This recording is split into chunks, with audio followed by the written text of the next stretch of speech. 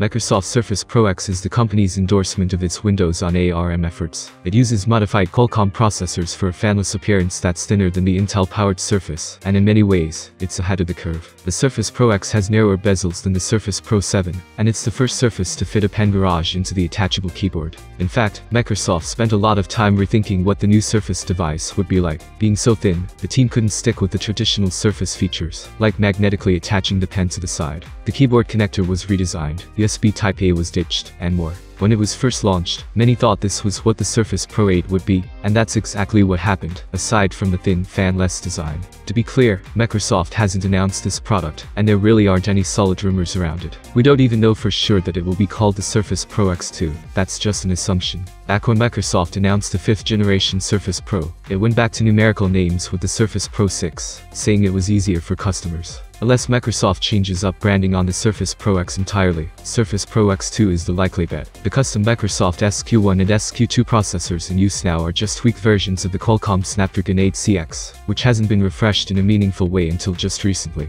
It's likely that Microsoft could have an SQ3 that's based on the Snapdragon 8CX Gen 3, given how closely Microsoft and Qualcomm work together on this. I do expect pricing to come down though. When the Surface Pro X first launched, it started at $999, although you can get it for $150 less these days. That got you an SQ1 processor, 8GB RAM, and a 128GB SSD. For an incredible $300 more, you could upgrade to the same configuration, but with 256GB of storage. Now, Microsoft just announced a Wi-Fi only model, bringing the entry-level price down to $899. While still more expensive than an entry-level Surface Pro 7, it's much less expensive than the entry-level Surface Pro 8, which costs $1,099. First of all, second-generation Surface products have historically been spec bumps. This was the case with the Surface Pro 2, Surface Book 2, and Surface Laptop 2. Exceptions include the Surface Go 2, which had a larger screen and even the Surface 2, which had a better screen than the infamous Surface RT.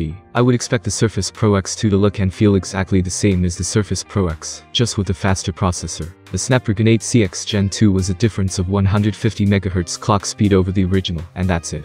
Qualcomm said the reason for such a minor refresh was because it was trying to shorten the time between when a chipset is announced and when it lands in products you can purchase. Indeed, the Snapdragon 8CX was originally announced in December 2018, but the Samsung Galaxy Book S, the first laptop to use it, didn't ship until the beginning of 2020. The Surface Pro X, which used the modified 8CX known as the SQ1, shipped a bit earlier in November 2019.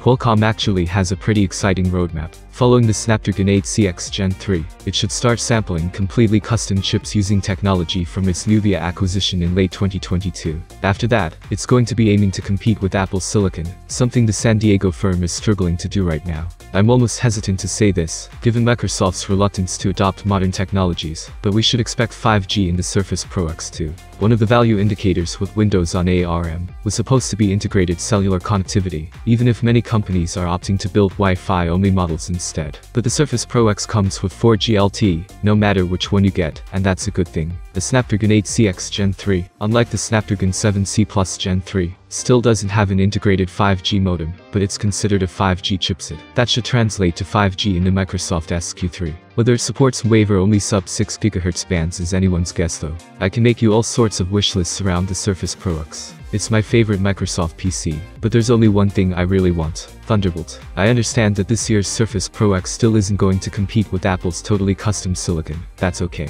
Let's see Thunderbolt though. USB 4.0 allows for 40 gigabytes per second data transfer speeds. You'll be able to use it to connect dual 4K monitors or one 8K monitor, depending on the limitation of the chipset. External GPU support is unlikely without native drivers, but you'd have access to the wide array of Thunderbolt peripherals on the market. Let the benefits of Thunderbolt aside, Apple does it. For years now, I've been watching as Macs were ahead of Surface on USB Type-C, Thunderbolt, and some other things. Let's stop watching from the sidelines while Apple goes the extra mile. Microsoft Surface Pro 8 offers a 120Hz display, and it's pretty great. Let's put something similar on the Surface Pro X2. To go a bit deeper on that, I'd really like the Windows ecosystem to drop some of the stark differences between PC and mobile. A big example is how any premium smartphone has a high refresh rate display, but in the PC world, that's seen as a gaming feature, and those high refresh rates will make sacrifices sacrifices for better gaming performance. When Microsoft announced the original Surface Pro X, it came in black, rather than the more traditional platinum color that Surface is known for. The platinum model came later, but one thing worth noting is the Surface Pro X is made out of aluminum, while the Intel-powered model is made out of magnesium. That's why the Pro X is thinner but still the same weight. Aluminum is a heavier material. Aluminum is also easier to anodize, so it can be more easily produced in different colors. The best example is obviously the Surface Laptop. While the Surface Laptop 4 comes in more subtle colors today, it was originally introduced in bold, beautiful colors like cobalt blue and burgundy.